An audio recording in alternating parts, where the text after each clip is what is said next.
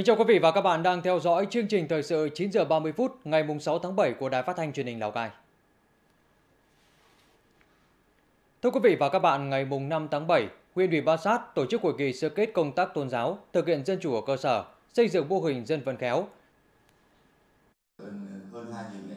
Nửa đầu năm nay, công tác dân chủ tiếp tục được duy trì nền nếp từ huyện đến cơ sở đã tổ chức 57 cuộc tiếp xúc, đối thoại trực tiếp với nhân dân. Quyền tự do tín ngưỡng tôn giáo của công dân được tôn trọng trên cơ sở tuân thủ quy định của pháp luật. Huyện có 186 mô hình dân vận khéo trên các lĩnh vực, góp phần thực hiện hiệu quả các nhiệm vụ chính trị xã hội, nhất là trong xây dựng nông thôn mới, đã vận động ủng hộ chương trình được hơn 6,2 tỷ đồng. Thời gian tới, các xã, thị trấn, cơ quan, đơn vị tiếp tục đổi mới, nâng cao chất lượng công tác dân vận, xây dựng các mô hình dân vận khéo, đảm bảo mỗi thôn có ít nhất một mô hình hoạt động hiệu quả. Ủy ban nhân dân tỉnh vừa ban hành quyết định công nhận đô thị Bắc Hà sau sắp xếp đơn vị hành chính đạt tiêu chí đô thị loại 5. Phạm vi đánh giá phân loại đô thị bao gồm toàn bộ địa giới hành chính hiện hữu của thị trấn Bắc Hà và xã Tà Trải với tổng diện tích 6,49 km vuông theo đánh giá, các tiêu chí phân loại đô thị Bắc Hà sau sắp xếp đơn vị hành chính đạt 88,1 trên 100 điểm, đạt tiêu chuẩn đô thị loại 5. Từ đó đảm bảo đầy đủ điều kiện, trình bộ nội vụ thẩm định, báo cáo Ủy ban Thường vụ Quốc hội xem xét, quyết định phương án sắp xếp đô thị Bắc Hà. Trước đó, thực hiện nghị quyết 35 của Ủy ban Thường vụ Quốc hội, tỉnh đã ban hành đề án số 01 về sắp xếp đơn vị hành chính cấp huyện, cấp xã, trong đó định hướng sắp nhập xã Tài Trải vào thị trấn Bắc Hà để đảm bảo diện tích tự nhiên, quy mô dân số của đô thị sau sắp xếp. Theo số liệu giả soát của Ủy ban Nhân dân cấp huyện, trên địa bàn toàn tỉnh có khoảng 9.238 hộ có nhu cầu được hỗ trợ về nhà Tuy nhiên, có 1.011 hộ có đất không phù hợp. Như vậy, số hộ đủ điều kiện cần được hỗ trợ về nhà ở là 8.227 nhà, trong đó có 5.500 hộ thuộc diện hỗ trợ nhà ở theo chương trình mục tiêu quốc gia giảm nghèo bền vững giai đoạn 2021-2025 và chương trình Mục tiêu Quốc gia Phát triển Kinh tế Xã hội vùng đồng bào dân tộc thiểu số và miền núi. Lào Cai đặt mục tiêu đến tháng 9 năm 2025 đạt 100% hộ người có công với cách mạng, hộ nghèo, hộ cận nghèo được hỗ trợ về nhà ở. Riêng năm 2024, thực hiện hỗ trợ nhà ở cho hộ gia đình người có công với cách mạng, hộ đã có kinh phí thực hiện, hộ nghèo, cận nghèo hoàn thành 5.760 nhà. 6 tháng đầu năm, giá trị sản xuất nông lâm nghiệp và thủy sản của tỉnh đạt 4.375 tỷ đồng, tăng trưởng 3,81%. Trong đó các lĩnh vực trồng trọt, chăn nuôi, dịch vụ, nông nghiệp đạt mức tăng trưởng 3,4%, lâm nghiệp đạt 489 tỷ đồng, tăng trưởng hơn 5%, thủy sản 262 tỷ đồng, tăng trưởng 6,46%. Ngành nông nghiệp duy trì đà tăng trưởng ổn định là do từ đầu năm đến nay, sản lượng một số cây trồng chủ lực như chè, chuối, dứa, dược liệu tăng so với cùng kỳ. Chăn nuôi gia súc gia cầm và thủy sản cũng tăng khá nhờ sản phẩm được giá và tiêu thụ thuận lợi. Đến hết tháng 6 đã có 3 trên 24 chỉ tiêu của ngành nông nghiệp vượt kế hoạch năm 2024. Hiện ngành đang phối hợp cùng với các địa phương dồn sức chỉ đạo, phấn đấu hoàn thành đạt và vượt kế hoạch 21 chỉ tiêu còn lại của năm. Thưa quý vị và các bạn, xác định chuối là một trong những cây trồng chủ lực đem lại hiệu quả kinh tế cao. Huyện Bảo Thắng chú trọng quy hoạch mở rộng diện tích vùng trồng hàng hóa, qua đó góp phần thúc đẩy sản xuất nông nghiệp theo tinh thần nghị quyết số 10 của Ban Thường vụ tỉnh ủy. Bắt đầu trồng chuối từ năm 2013, nên khi đưa cây chuối vào trồng tại khu vực bãi bồi thuộc thị trấn Phố Lu, gia đình anh Trần Văn Khiếu rất tự tin về giá trị kinh tế mà cây trồng này mang lại. Với khoảng 36.000 cây, anh Khiếu áp dụng kỹ thuật vào canh tác. Cây đang phát triển tốt, dự ước đến cuối năm sẽ cho thu hoạch, đáp ứng các tiêu chuẩn xuất khẩu. Một cây chuối mình đầu tư nó khoảng độ trăm hơn trăm nghìn nhưng mà mình bán nó lên đến tận hai trăm rưỡi đến hai trăm rưỡi quay đầu trên một cây thì mình tính ra để mình sẽ có lợi nhuận. Để mở rộng vùng trồng, anh Khiếu đã thuê hàng chục lao động là người địa phương và các vùng lân cận đến làm việc một năm thì vẫn được ờ, gần 100 triệu. Ờ, còn ờ, nếu mà chuối tốt thì thu nhập được nhiều thì có thể được hơn gấp ba so với lòng nương lòng uh, ruộng ở, ở nhà. vùng đất bãi bồi ven sông Hồng thuộc tổ dân phố Tân Thành, thị trấn Phố Lu. Khoảng gần 20 hecta đất trồng sắn, trồng ngô kém hiệu quả trước đây, giờ đã được thay thế bằng cây chuối.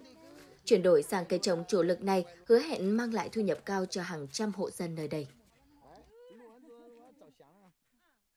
Ủy ban nhân dân cũng xây dựng kế hoạch triển khai tuyên truyền vận động nhân dân để thực hiện tốt cái nghị quyết 10, đặc biệt là vấn đề là chuyển đổi từ cây trồng kém hiệu quả sang cái cây trồng có giá trị cao, đặc biệt là cây chuối mô. Và thời gian tới chúng tôi sẽ phân đấu triển khai hết ở cái khu vực tổ dân phố Thành và các cái tổ dân phố khác còn đất nông nghiệp. Vì nhiều lý do nên diện tích chuối tại một số địa phương trong tỉnh đang dần bị thu hẹp. Tuy nhiên tại Bảo Thắng, vùng trồng chuối hàng hóa vẫn duy trì và mở rộng tại xã Bản Cầm, thị trấn Phong Hải và thị trấn Phố Lu.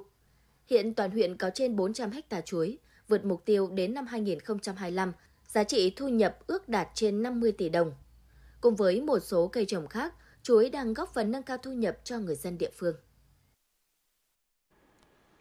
Ban dân tộc tỉnh và Ủy ban nhân dân thị xã Sapa vừa tổ chức hội thi tìm hiểu pháp luật dành cho đồng bào dân tộc thiểu số thị xã Sapa năm 2024. Hội thi có 10 đội đến từ các xã, các đội trải qua 3 phần thi, chào hỏi, kiến thức pháp luật và trả lời câu hỏi tình huống, tiểu phẩm tuyên truyền pháp luật. Nội dung xoay quanh các chủ trương chính sách của Đảng, pháp luật của nhà nước, nhất là với đồng bào dân tộc thiểu số, quyền và nghĩa vụ công dân, các hành vi vi phạm pháp luật. Theo đánh giá của ban giám khảo, các đội đã đầu tư chuẩn bị kỹ lưỡng cho hội thi, đặc biệt màn thi chào hỏi và tiểu phẩm, tuyên truyền được dàn dựng công phu, nội dung hấp dẫn, dễ hiểu, dễ nhớ. Kết thúc hội thi, đội xã Tả Phìn xuất sắc đạt giải nhất.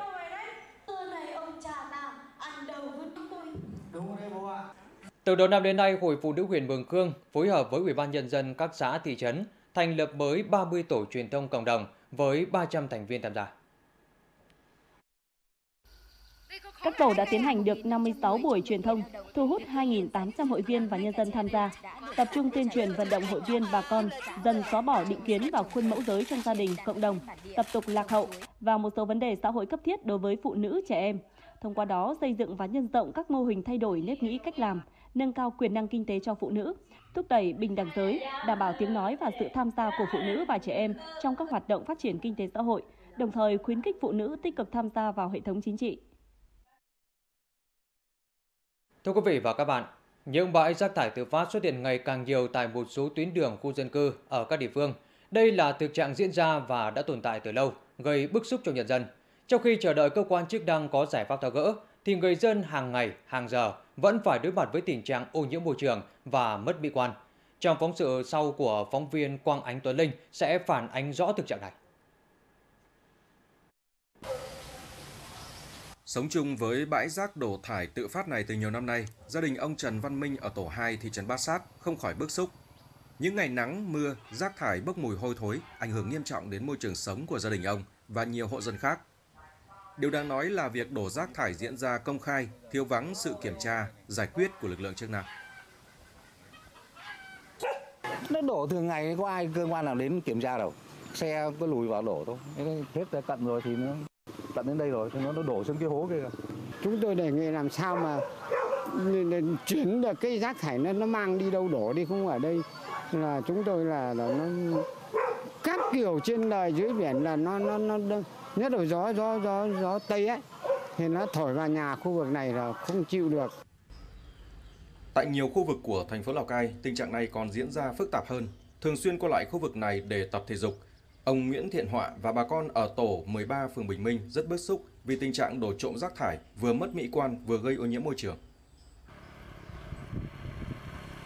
Thường thường là đổ thải vào khoảng độ 7 giờ tối. Xe đi là tắt đèn đến thì đổ xong là về. Tôi là người dân cũng cảm thấy bức xúc, cũng không nhất trí với quan điểm đổ trộm ở đây. Trao đổi với phóng viên đại diện Phòng Quản lý Đô thị thành phố cho biết, Hiện nay, việc tạo ra các khu vực để đổ đất thải, vật liệu xây dựng của các dự án và xây dựng của người dân gặp nhiều khó khăn. Tại các cái phường các và các các cái xã thì chúng tôi đã giả soát các cái vị trí mà có thể à, tận dụng được lân cốt thì chúng tôi sẽ khoanh lại để đề xuất một là các cái dự án mà có điều kiện thì sẽ bổ sung vào các dự án đầu tư mà cần cái lượng đất đổ thải thì sẽ đưa vào bổ sung các dự án đấy để tạo ra các cái vị trí ờ, đổ thải để điều để đảm bảo là người dân cũng như là các công trình xây dựng là không còn cái tình trạng giảm được cái tình trạng là đổ thải sai quy định. Dù việc đổ thải đã diễn ra từ lâu, Đài Phát thanh Truyền hình Lào Cai cũng đã nhiều lần đề cập đến tồn tại này. Chủ tịch Ủy ban nhân dân tỉnh cũng đã ra văn bản chỉ đạo yêu cầu tăng cường công tác quản lý, song đến nay tình trạng trên vẫn chưa được giải quyết triệt để. Tiếp theo là những thông tin thời sự trong nước. Theo Cục Dân số, nước ta vừa vượt mốc 100 triệu dân, trong đó tuổi thọ của người dân đã được nâng cao, đạt 73,7 tuổi vào năm 2023. Bên cạnh đó, tầm vóc và thể lực của người dân cũng có sự cải thiện. Mặc dù có sự cải thiện về tuổi thọ, nhưng tuổi thọ bình quân khỏe mạnh của người dân lại thấp, chỉ đạt 63,2 tuổi khỏe mạnh với nam và 70 tuổi ở nữ. Cùng với đó, hiện nay công tác dân số ở nước ta vẫn còn nhiều khó khăn, thách thức như chênh lệch mức sinh đáng kể giữa các vùng, đối tượng và nguy cơ không đạt mức sinh thay thế trên phạm vi toàn quốc hay tốc độ già hóa dân số nhanh, tỷ lệ chênh lệch giới tính khi sinh cao. Huyện Kỳ Sơn, tỉnh Nghệ An hiện có gần 200 ha trồng cây dứa mật. Tháng 6, tháng 7 dương lịch là chính vụ thu hoạch. Với giá bán bình quân từ 10 đến 30.000 đồng một quả, tùy thuộc kích thước to nhỏ, giúp người trồng dứa Kỳ Sơn có nguồn thu nhập khá. Dứa mật là một trong những giống cây ăn quả truyền thống được đồng bào dân tộc Mông trồng trên các nương rẫy ở vùng cao. Hiện cây dứa đã trở thành một trong những loại cây trồng chủ lực, mang lại giá trị kinh tế cao, góp phần nâng cao thu nhập cho đồng bào vùng cao Kỳ Sơn. Công an tỉnh Quảng Trị vừa triệt phá đường dây cá độ bóng đá với số tiền lên tới hơn 30 tỷ đồng. Đối tượng cầm đầu là Nguyễn Xuân Thiện, thường trú tại huyện Phú Vang, tỉnh Thừa Thiên Huế, cùng 7 đối tượng khác tổ chức cá độ trên địa bàn Quảng Trị và Thừa Thiên Huế. Đối tượng Thiện đã mở một tài khoản hạn mức 100.000 điểm, sau đó chia thành 4 tài khoản cho đại lý cấp dưới. Các đại lý cấp dưới lại chia nhỏ ra cho gần 20 tài khoản thành viên cho các đối tượng tham gia. Chỉ trong 19 ngày, từ ngày 15 tháng 6 đến ngày 3 tháng 7, đường dây của Thiện đã tổ chức cho hàng trăm người đánh bạc với tổng số 500.000 điểm, tương ứng với số tiền hơn 30 tỷ đồng. À.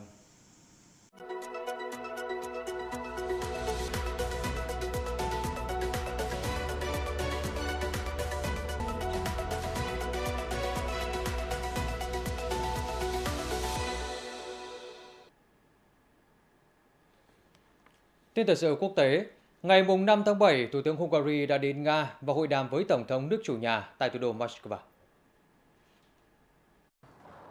Thủ tướng Hungary khẳng định cuộc họp lần này với Tổng thống Nga cũng rất đặc biệt bởi nó diễn ra trong bối cảnh Hungary đảm nhận chức Chủ tịch Luân phiên EU kể từ ngày 1 tháng 7. Do đó, nhà lãnh đạo Hungary muốn sử dụng cơ hội này để thảo luận các vấn đề đầy thách thức và lắng nghe quan điểm của Moscow về các vấn đề quan trọng đối với Liên minh. Về phần mình, Tổng thống Putin bày tỏ sẵn sàng bàn luận về các khía cạnh của đề xuất hòa bình nhằm chấm dứt xung đột tại Ukraine và lắng nghe quan điểm của nhà lãnh đạo Hungary cũng như các đối tác châu Âu khác về vấn đề này. Ngay sau khi nhậm chức ngày 5 tháng 7, tân Thủ tướng Anh Keir Starmer đã tiến hành bổ nhiệm các vị trí quan trọng trong nội các mới của mình. Theo đó, ông Starmer đã bổ nhiệm bà Angela Rayner, 44 tuổi, làm Phó Thủ tướng, ông David Lammy, 51 tuổi, làm Ngoại trưởng, bà Yvette Cooper làm Bộ trưởng Nội vụ và bà Rachel Reeves làm Bộ trưởng Tài chính. Trong một tuyên bố sau khi được bổ nhiệm làm người đứng đầu ngành ngoại giao Anh, ông Lamy cam kết sẽ thiết lập lại mối quan hệ của Anh với Liên minh châu Âu EU và thúc đẩy một lệnh ngừng bắn ở Gaza. Một trong những cam kết của công đảng, đảng vừa về đầu trong cuộc tổng tuyển cử tại Anh là sẽ ưu tiên cho an ninh và hòa bình lâu dài ở Trung Đông, cũng như công nhận nhà nước Palestine như một giải pháp hai nhà nước. Các cơ quan đặc biệt của Kyrgyzstan vừa chặn đứng một âm mưu chiếm quyền bằng vũ lực. Ủy ban an ninh quốc gia của nước này cho biết đã ngăn chặn kịp thời âm mưu đảo chính của nhóm 5 đối tượng tìm cách gây bất ổn chính trị, xã hội bằng bạo lực, hòng lật đổ chính quyền. Lực lượng chức năng đã đột kích nhà riêng và phương tiện của các đối tượng này, phát hiện ra các cấu phần của thiết bị nổ, súng, đạn dược, bộ đàm, áo giáp, thiết bị bay không người lái và nhiều tài liệu có nội dung cực đoan. Hiện các đối tượng đang bị giam giữ chờ xét xử. Trong khi đó, cơ quan chức năng mở rộng điều tra để tìm kiếm thêm các đối tượng liên quan. Nhằm cải thiện chất lượng cuộc sống của người yếu thế, chính phủ Thái Lan vừa phê duyệt việc tăng kinh phí chăm sóc người phụ thuộc và mở rộng phạm vi của hệ thống chăm sóc phụ thuộc.